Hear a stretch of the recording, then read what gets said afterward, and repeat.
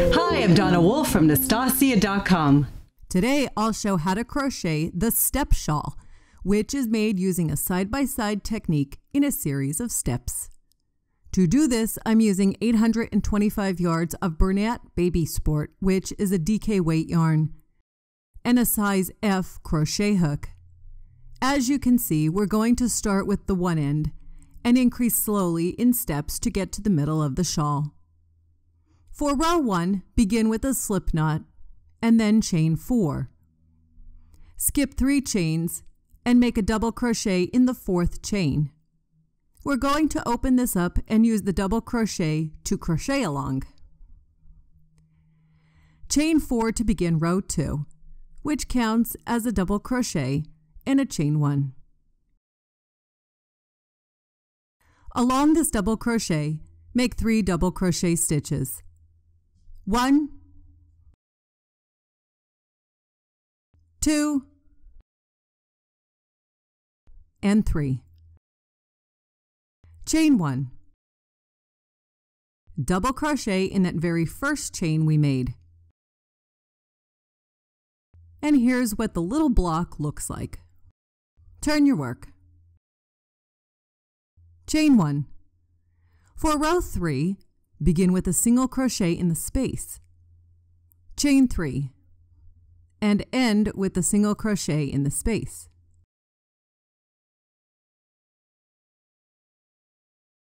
Turn your work. We're going to create another block on top of the previous one for row 4.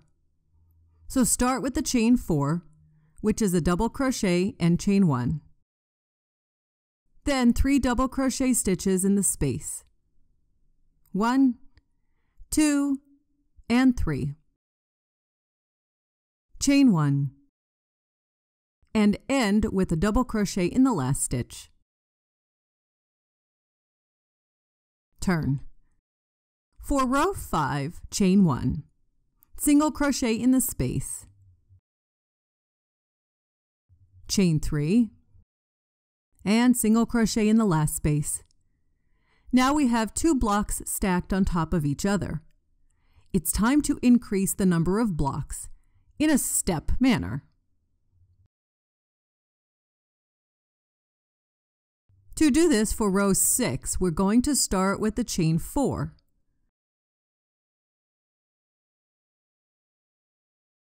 Then double crochet in the first stitch.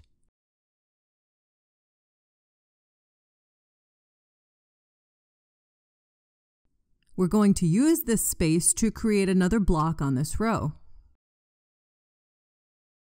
Start with a chain 4.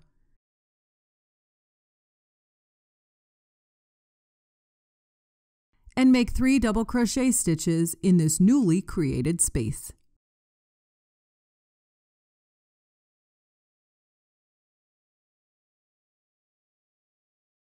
Chain 1. In the next space, make 3 double crochet stitches.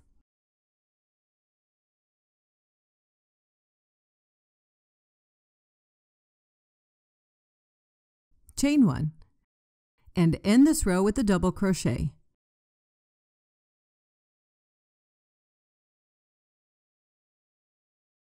Turn your work. For row 7, it's that single crochet row again. Chain 3 single crochet in the next space, chain 3,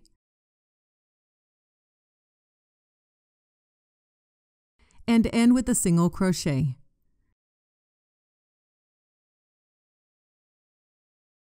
Turn your work. We only increase every other block, so since we only have one row of blocks, we just need to make another set on top of these. Start off row 8 with a chain 4, then 3 double crochet in the space. Chain 1, and 3 more double crochet in the next space.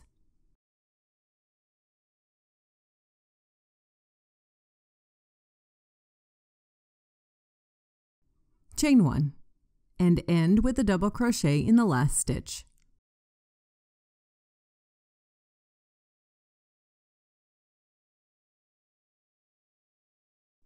Turn your work. For row 9, chain 1. Single crochet in the space. Chain 3. Single crochet in the next space. Chain 3. Single crochet in the last space. Turn your work. Now we need to make some decisions. Do we just stack another row of blocks? Or do we increase?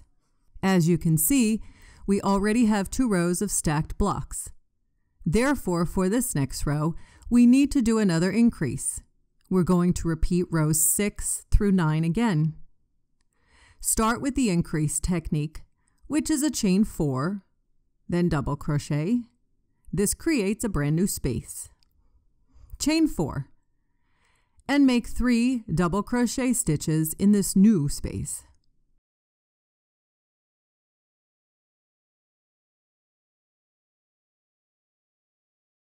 Chain 1 and 3 double crochet in each space across, separated by a chain 1. End with a double crochet in the last stitch.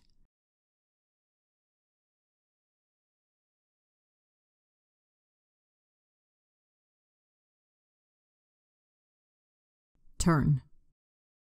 Chain 1 and repeat the single crochet row again.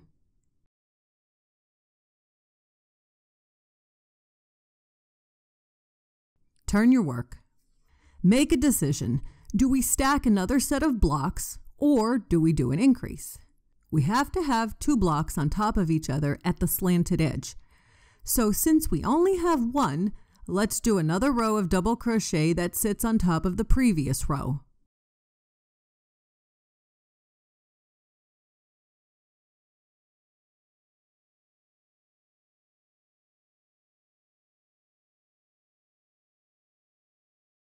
Continue repeating these four rows, remembering to have the two sets of blocks stacked on top of each other.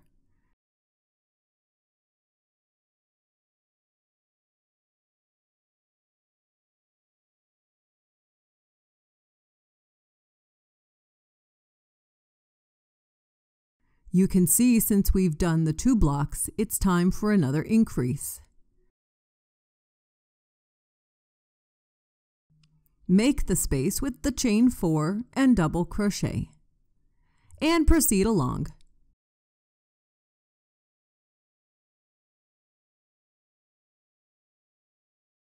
You will continue this process until you have a total of 24 blocks across.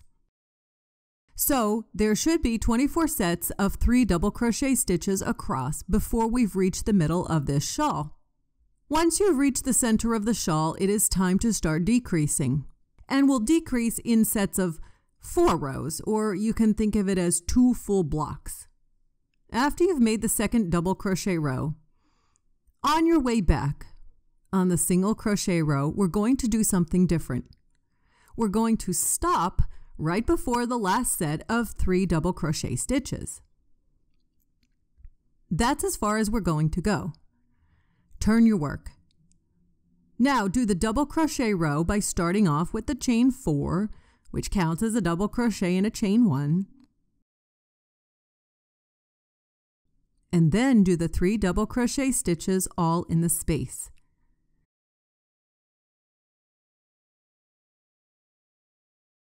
And chain 1. You can see how by stopping our single crochet row right before the last set of blocks, we've actually decreased that row. You can see it's much easier to decrease than it is to increase. Once we get to the end of this row, we turn and do our single crochet row back. Now we have to make a decision again. Do we go right to the edge of the last row or do we stop before it? Same as before, we need to do two blocks on top of each other along the edge. So in this case, we continue working until the last space of the previous row.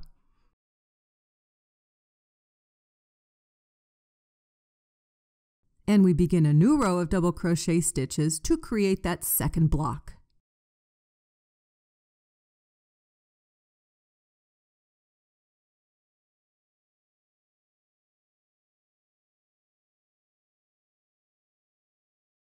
If you get lost, just look at your increase rows and try to match them just on the other side. So now I'm on the single crochet row again. What do I do? In this case, since I already have two blocks stacked, I want to stop before the last set of double crochet.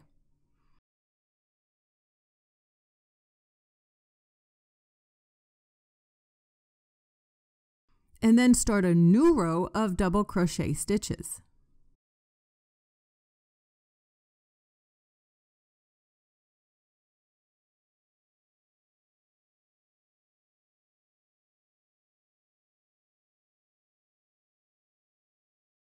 You can see how this creates another decrease.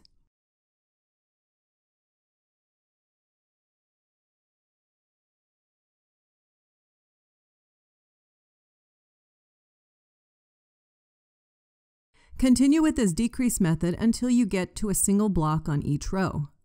I do happen to like putting the single crochet row as the very last row. It is time to add some fringe if you would like.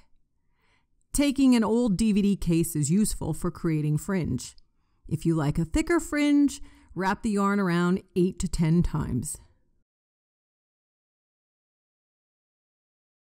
Cut the yarn. Then take it off the case. Use a crochet hook along the chain edges to insert the fringe.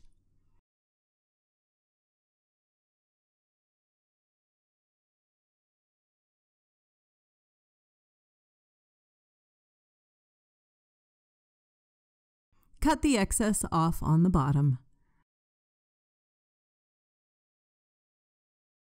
I like a bit thinner fringe, so I only used four wraps around. And that's how I crochet my side-to-side -side step shawl. To get more videos like this, please subscribe to my YouTube channel.